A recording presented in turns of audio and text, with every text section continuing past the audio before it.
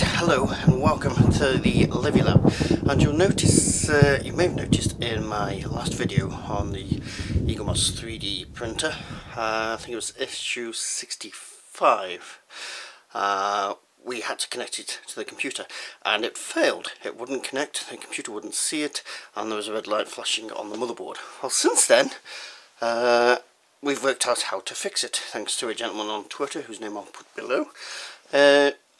Yes, it's quite a simple thing to fix, uh, but I'm going to show you how to do it. Now, the red light on the motherboard flashing is, has got nothing to do with the error.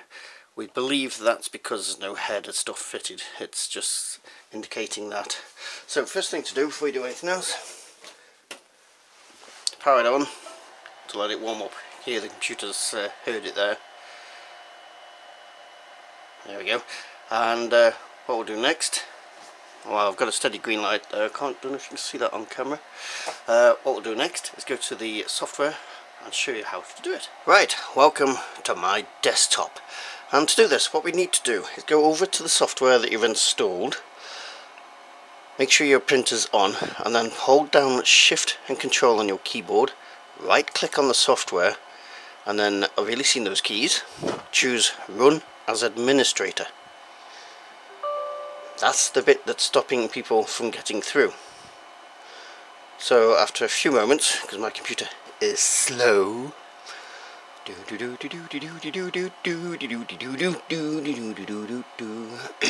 right, here we have the software. If you go into configuration, printer settings, choose your port. It may come up with several options here. If it doesn't work the first time, choose the next one. Uh, if you can't see any ports, refresh ports and it should come up. Then press OK. After that, go back to configuration, manual printer control, connect. It may uh, ask you uh, because you need to configure your system on the first run. If it does that, just click yes and then you get a box that comes up, click connect and see if it will connect on this one you can see it's gone from disconnected to idle. And a few moments later the commands will start. Uh, there you go. If you've gone through the bit where it does configuration once it's got to that window don't do the configuration. Close that. Then go back to manual printer control and press the connect there. And you can see there are controls here it won't do anything at the moment. I believe it's because the uh, we've got the flashing light because the head's not fitted or something. It, that's the printer showing an error. I believe. Uh, that hasn't been confirmed.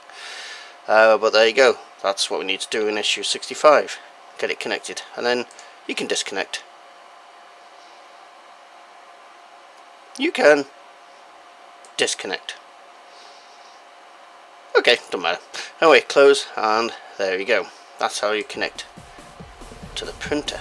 I hope that's been of use. If you're not already, please subscribe for more videos like this and other computing related and gaming stuff. And our social media is down below with our popular Facebook group. So, thank you all very much. You need to quit being dirty. You're a dirty boy.